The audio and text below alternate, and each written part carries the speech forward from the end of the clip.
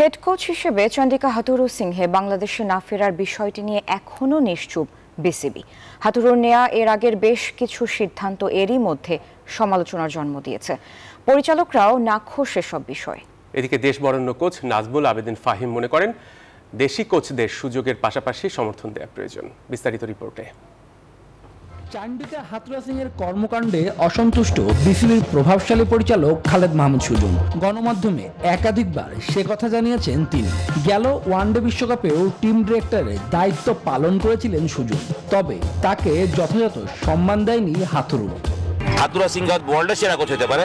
That doesn't matter to me আমার কাছে আমি বাংলাদেশে আমি রেসপেক্টেবল কোচ আমার প্লেয়াররা অনেক রেসপেক্ট করে আমাকে। আমার একটা ইয়ে আছে। সুতরাং I don't want to lose my respect anymore ক্রিকেটের মতো টিম গেমে দলের অভ্যন্তরে অসন্তুষ্টির ফলাফল সবসময় নেতিবাচক। ভারত বিশ্বকাপে তা হারে হারে টের পেয়েছে বাংলাদেশ। টি টোয়েন্টি বিশ্বকাপ মাঠে গড়াতে বাকি প্রায় দেড় মাস।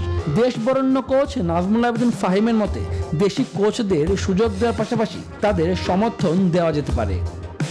বাংলাদেশে কোনো কোচকেই আমরা এখনও সুযোগ দিইনি। এটা এটা শুধু কোচের যোগ্যতার উপর ডিপেন্ড করে না কোচের টেকনিক্যাল স্কিলের উপর ডিপেন্ড করে না। কোচকে যদি একজন খুব বাংলাদেশি কোচকে দায়িত্ব দেওয়া হলো কিন্তু তাকে সব দিক থেকে সমর্থন দেওয়া হলো না তাহলে কিন্তু কোচের পক্ষে কাজ করা সম্ভব হবে না।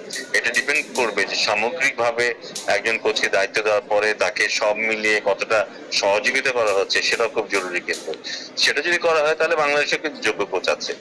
অনেকের পছন্দের তালিকায় উঠে আসছে ঘরোয়া আসরে সফল কোচ মোহাম্মদ সালাউদ্দিনের নাম। সে বিষয়ে কথা হয়েছে তার সাথে।